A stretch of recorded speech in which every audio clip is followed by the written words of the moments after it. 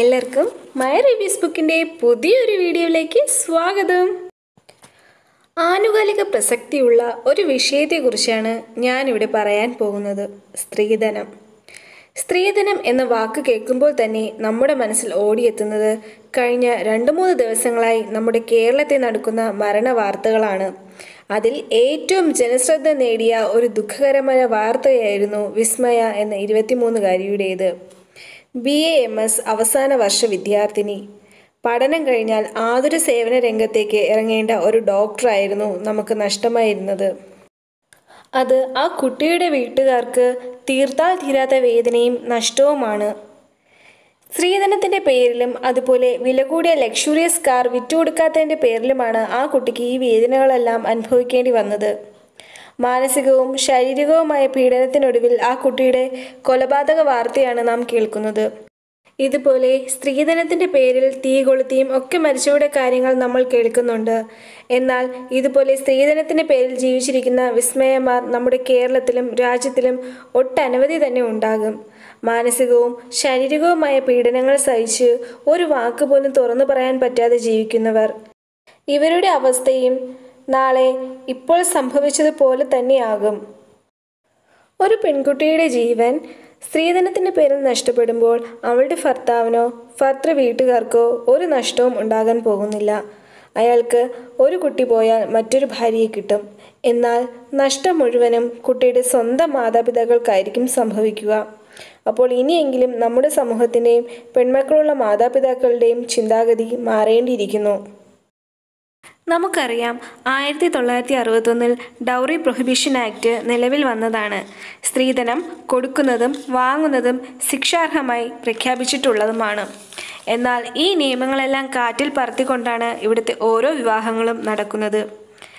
പെൺമക്കളുള്ള എല്ലാ പാരൻസിന്റെയും ആഗ്രഹം തങ്ങളെ കൊണ്ട് കഴിയുന്നതിലും അധികം നന്നായി മകളെ കല്യാണം കഴിച്ചു വിടണം എന്നതാണ്. അതിനായി നല്ല ജോലിയുള്ളവരെയൊക്കെ അന്വേഷിക്കുന്നു. അവർ സ്ത്രീധനമായി നല്ല ഒരു എമൗണ്ടും ചോദിക്കുന്നതുമൊക്കെ കൊടുക്കുന്നു.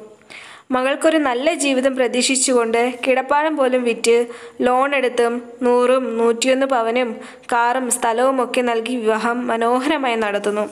അവസാനം മകളുടെ ലൈഫിൽ സംഭവിക്കുന്നതെല്ലാം ദുഃഖിപ്പിക്കുന്ന കാര്യങ്ങളാകും. അപ്പോൾ ഇനിയെങ്കിലും പാരൻസ് ശ്രദ്ധിക്കുക. പെൺകുട്ടികൾ വളർന്നു വരുമ്പോൾ എല്ലാ പാരൻസിന്റെ മനസ്സിൽ തീയാണ് അവളുടെ വിവാഹം വരെ. ബട്ട് മക്കളെ വിവാഹം കഴിപ്പിച്ചു വിടുന്നതിന് മുന്നേ മതിയായ വിദ്യാഭ്യാസവും അതിലുപരി ഒരു ജോലിയും ആ കുട്ടി നേടിയിട്ട് വേണം വിവാഹം ആലോചിക്കാൻ. സ്വന്തം കാലിൽ നിൽക്കാൻ പ്രാപ്തിയുള്ളവളാകുമ്പോൾ ഏത് പ്രതിസന്ധിയും തരണം ചെയ്യാനുള്ള ഒരു മനഃശക്തി കൂടെ അവർക്ക് ലഭിക്കും. പിന്നെ സാധാരണ പെൺകുട്ടികൾക്ക് പത്തൊൻപത് വയസ്സ് മുതൽ വിവാഹം ആലോചിക്കാൻ തുടങ്ങും. അതും നിർത്തുക. പഠിച്ച് ഒരു ജോലി. അതാവണം പെൺകുട്ടികളെ സംബന്ധിച്ച് ഒന്നാമത്തെ കാര്യം.